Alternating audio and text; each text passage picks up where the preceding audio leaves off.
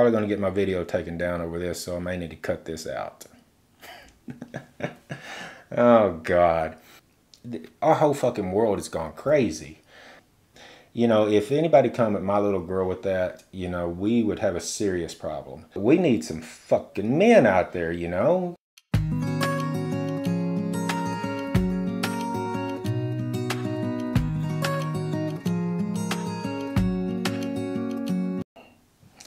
What's up everybody?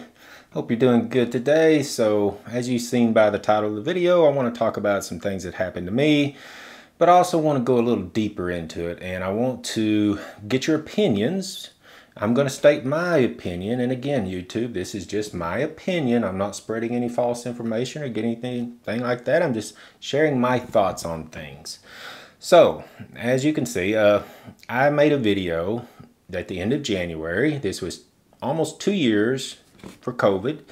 And basically what I did in this video is I took clips from the news and from talk shows like Joe Rogan, Bill Maher and stuff, and they were talking about the issue of mask and stuff. So I, I don't really think I talked too much in the video. It was just clips of them. And YouTube, within a couple hours of it being out, took it down. And they gave me a warning. And they also told me that I could appeal that you know, but this wouldn't affect my account or anything right now. But if I got another one, it would be considered a strike.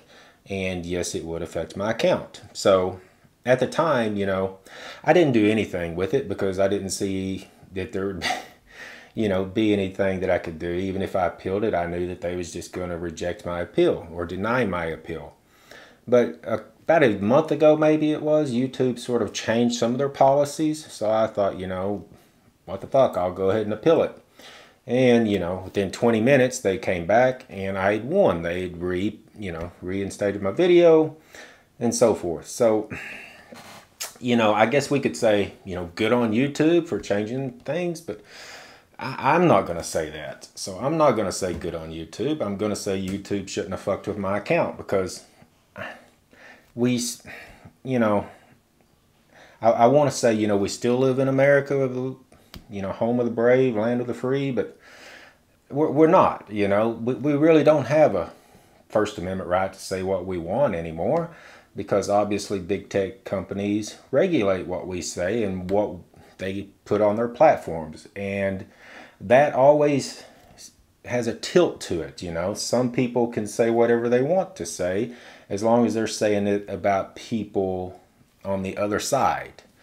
Now, that video itself, I, I wasn't, you know, hammering the Democrats or Republicans or any scientist or anybody like that. I was just letting my frustration over the fucking mask come out. It seems like in the last couple of years, you know, with the pandemic and everything else, our whole fucking world has gone crazy. I mean, now we got, you know, teachers teaching to elementary school, you know, kindergartners and stuff like that uh, about trans things and you know, if anybody come at my little girl with that, you know, we would have a serious problem. And I think that is also part of the problem as well is that there's not enough alpha males out there anymore. So where where all of you gone? You know, I mean, I, am an old man, so I guess I'm too late for the brainwashing to take on me. But we need some fucking men out there, you know, all y'all 20 year old, 30 year olds. C- come on, where are you? Grow some balls. Stand up for your family, because this shit is definitely not right, in my opinion. I would be interested to hear your opinions on this, you know, so we can have a discussion. But you, you know, that's just the craziness that I'm talking about. Like, you know, competing in college swimming, you know, taking the gold medal away from the rightful gold medalist, you know, the, the female that came in second. So, how could, seriously, how can you justify that one to me? Probably going to get my video taken down over this, so I may need to cut this out. oh God. Okay, so let's let's get into one thing else here. You know, Governor uh, DeSantis, he, he passed a bill where they could not talk about sexual things with children. And I think it goes until third grade or something like that. Again, you know, these are, I'm just going off what I've heard on the news and stuff. I didn't read the bill, but for me, even that goes, you, you know, that's not far enough. This should be shit, junior high at the earliest. You're going to talk about this, eh, but you know, besides sex ed, which you know I did have going up, growing up in school, uh, this type of stuff needs to stay in the family, in my opinion. And any teacher that thinks they have more rights than me to my child, I would have a serious issue with. Yes, you know, but we've lost common sense in the last couple years. It appears for sure. So, what are your thoughts on all of these things? Now, I want to jump to another problem that I see. And, and when I first heard this one, and it's probably been a, I don't know, a year, a year ago, maybe a little longer than that, the ESG scores that banks are now using. I thought that was a far, far right conspiracy. I just couldn't, I couldn't believe that that was true. But then I, I seen a, a news clip article which caught my eye and I started reading on it. And now I got it pulled up here. Uh, ESG is environmental, social, and governance, is what it stands for.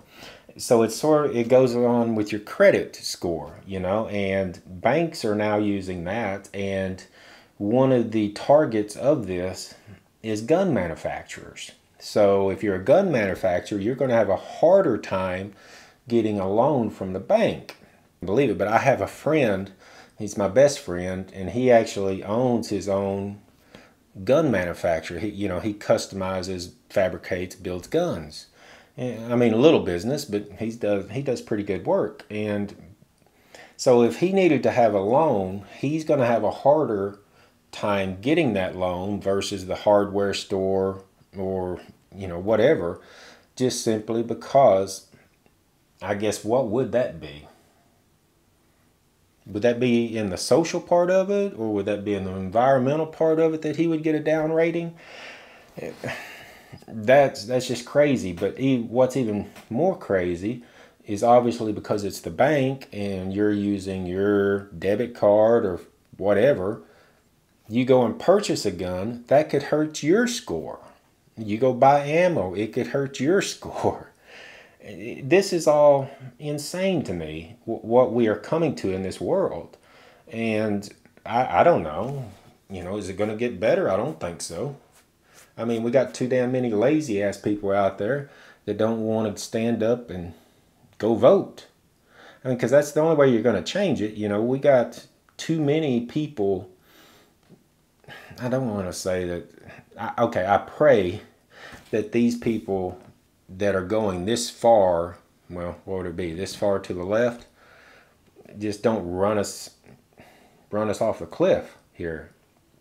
And luckily, you know, I, I for myself, again, you know, I, I'm towards the top end, getting ready to head down the mountain.